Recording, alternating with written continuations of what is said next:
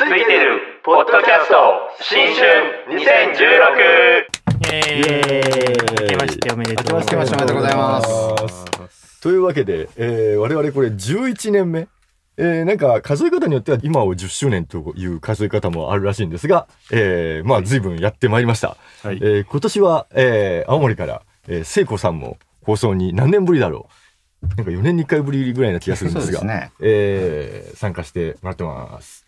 えーそれでは早速今年もポッドキャストの本番に入っていこうと思うんですけども、えーまず、振り返るということで、キーワード何か一つ挙げてからですね、あの、それについて4人順番に喋っていこうじゃないかと思います。はいえーで、えー最初の放送の順番ですと、えーまず一番最初についてるの、聖光さん。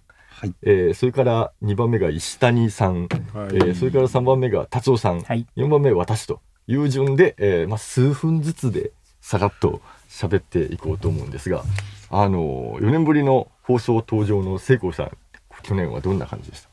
はい、どうも、俺と100冊の成功本というブログやってます、成功と申します。よろしくお願いします。去年のキーワードですね。去年のキーワード。はい。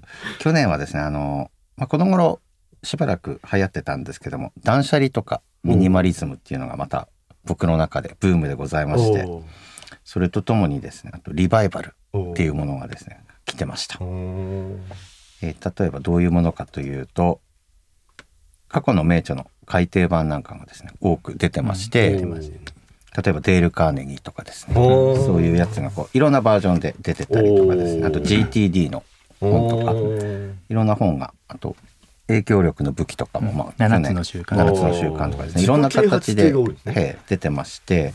でいろんな本が新しい本が次々出る中でまたそういう同じ本がまた出るっていうのはですね、まあ、不思議な感じもしますけれども。さっきの最初のキーワードの断捨離ミニマリズムとも合わせてですね。まあ本なんか全部捨ててもおいい本っていうのはまたそういうふうに来るから遠慮なく捨てていいんじゃないかってこう思ったわけです。はいもう全捨てしていいよって思いましたね。そうですね本思い切って捨てたい捨てたい。まあ断捨離ミニマリズムの観点から言うとあの電子書籍もまあだいぶ買うケースも多くなってきたんですけれどもやっぱりでも普通の紙の本と比べると管理の方で楽は楽なんですけど何買ったか分かんなくなる問題とかですね。あのデジタル積んどくは見えないからやばいですよね。そうですね。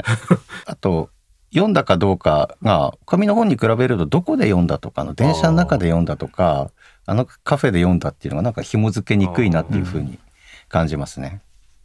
なのでまあそこをちょっと癖をつかんでデジタルの本と紙の本と両方の特徴をつかんでうまく活かしていきたいなって思いました。なるほどじゃあ石谷さんははい。どんな一年だったでしょう？僕はずっと個人でやってたのを法人化したりとかですね。この間法人税を払って。わあ。おおめでとうございます。法人の名前は？法人は石谷製作所というそのまんま。ものづくり系に。あでももの作ってますいや、もんね物を作ってそうだ。で、まあ、相変わらずカバンの方は今年はなかなか良くおて。で、あの、まあ、引き続きあれはまた新しいものを作ったりとかずっとやってるので、また今年は何らかのリリースができるんじゃないかなと思っておりますね。で、あと、個人的には引っ越しをしたりとかですね、別に断捨離はしてないんですけど、こういろいろ整理することはこう、うん、求められてるので、でもある意味み聖子さんと逆で本棚作ったりとかしてますね。おうん 引っ越しをしたのでまあ久しぶりに作るとやっぱああいうの楽しいなと。であと普段持ってるものは結構ダウンサイズには成功してあの PC も今使ってるのは XPS っていうデルの小さいやつとか。今日持ってきてるんですよね。今日持ってきてますね。であとミラーレスの OMD も大きいレンズを最近つけるのやめて小さいレンズに変えたりとかであとタブレットとかも一時期なんかいくつか持ってたりしてたんですけど iPhone6S にしたら別にこれ1個でいいやみたいな。別にあれで別に Kindle とかも普通に読めるのでちょっと何気にこう実は持ち歩くもののダウンサイズは意外と成功できたなという感じですね。はい、でなのでいろいろ実は結構心機一転の年では、まあ去年はあったかなという感じですね。はい。なるほどあ見たいもんというブログやってるしたいんです。はい。えー、じゃあ次は達夫のチェンジログの達夫さん。あ、はい。えっ、と、達夫のチェンジログの達夫です。えっ、とですね、2015年振り返るとっていうか、えっ、と、まあ僕ブログを、まあ大体20年くらい、きょ去年、20年か去年で大体20年くらいになるんですけれども、で、まあ、あの、そのうちの15年くらいは、えっ、と、ブログツール、チャローっていうやつを自分で使って作ってるんですね。で、まあ、その辺をいじったりとかして、2015年は結構いろんなことができていると。で、一つは、なんかまあ、テーマの多様化、ブログからカテゴリーを切り出して、サブブログを作るっていうのを、あの、テストし始めています。例えばなんかビールカテゴリーを切り出して、ビールブログおを作ってみたりとかして、でまあ切り離すと、まあ、結構あの最近のあの SEO 事情によるとテーマねテーマごとにきっちりまとめた方が検索エンジンと相性がいいっていうので、まあ、実際そういう結果も見えてみるし見えてみてる見えてきてるしなんか小さいブログを育てていくっていうのは楽しいっていうのがあるのかなっていうのがありますね。そこはまあ結構あの自分の中であの大きな出来事。でまあもなんだっけ？あの SEO で最うん。近ほら、長文がいいとかあはい。あと過去のヒット記事を実はあのアップデートした方がいいとかってある、うん。よく言ってるじゃないですか、はいはい。あの辺もやっぱそうなんですか？えっ、とね、多分ね、アップデートしただけじゃなくて、アップデートしたどやつをどこに置くかみたいなところに なるのかうん。アップデートして新しい記事として置いた方がいいとか、アップデートした時にちょっとカテゴリーを変えてとかいうのができるといいのかなって。ね、まあ、とりあえずその辺は、えっ、と、まあ、あの、まあ、時代の先駆けになるとは思うんですけど、自分でツールを作ってるっていうのもあるので、まあ、あるカテゴリーの自分のブログの記事だけ全部その検索のインデックスに貼らないようにするみたいなことを、あるキーワードにマッチする記事だけ、なんかその Google のインデックスから外る外すとかいうような機能とかも作ったりして、で、あの、コピーブログとか、コピペブログみたいにならないような感じで、あの、まあ、オフィシャルコピーサブブログみたいな形で、あの、やっております。はい。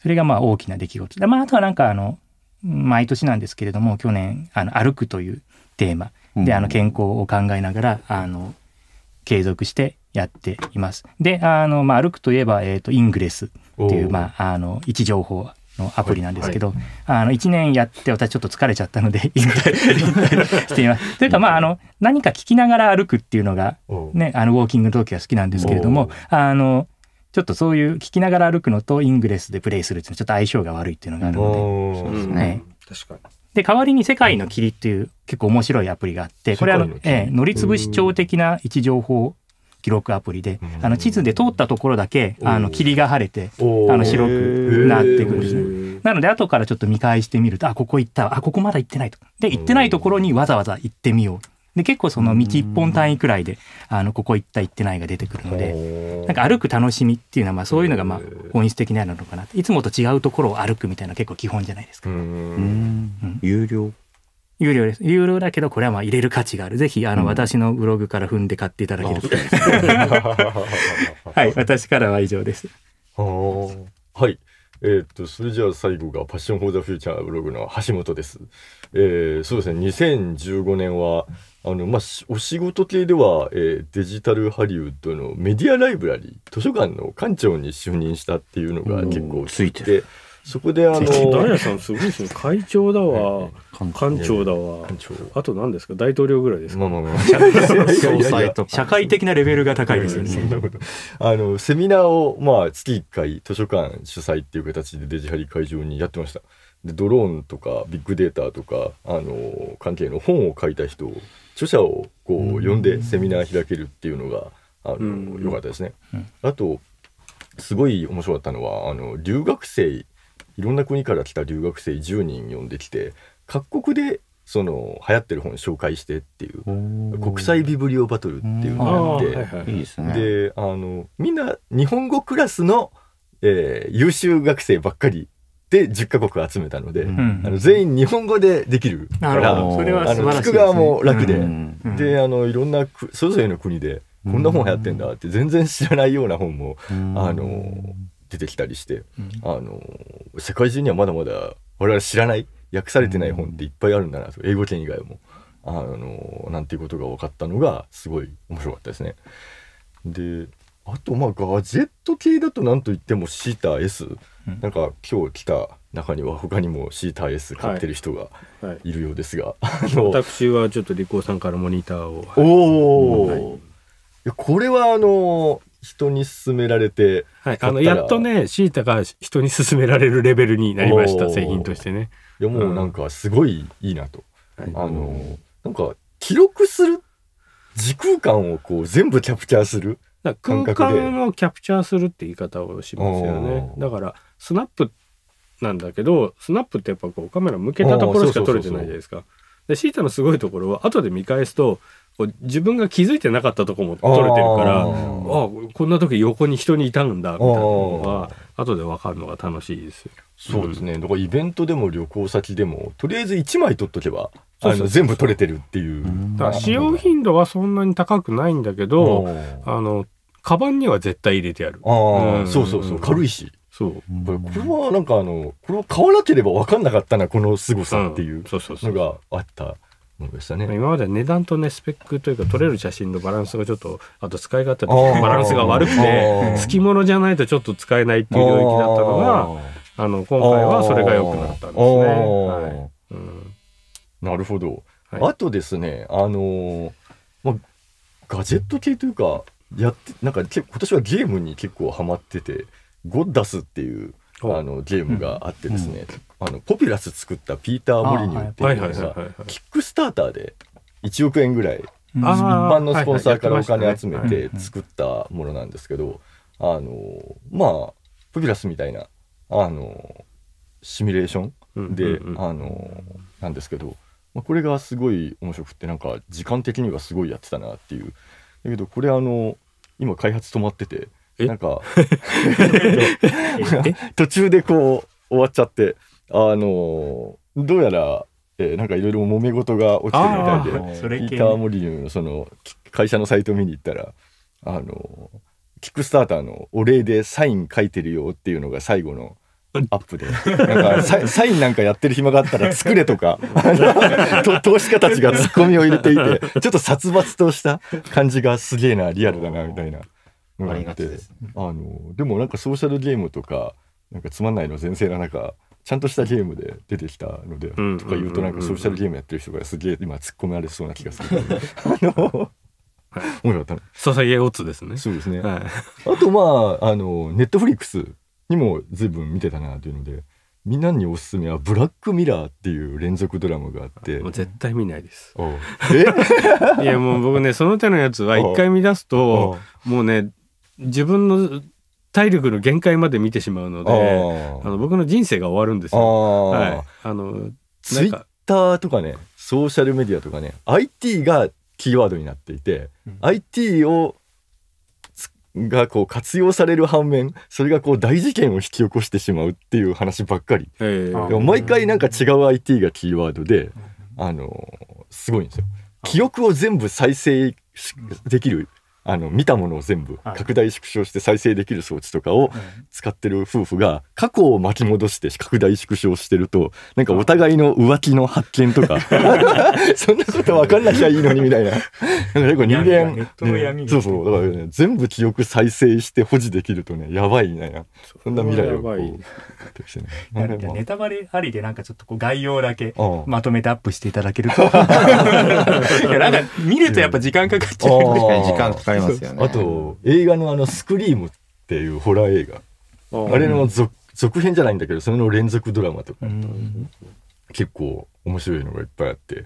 ネットフリックスは特にネットフリックスオンリーのやつが面面白いなと思いましたね。それでいうとアマゾンプライムは僕はもともとね会員だったのでちょこちょこまあ見てます、ああはいあの子育て的には漫画日本昔話が全部 全部見れる。アーカイブができるっていうだけでももう十分価値があるな結構ねあれこんな絵だったっけとかね。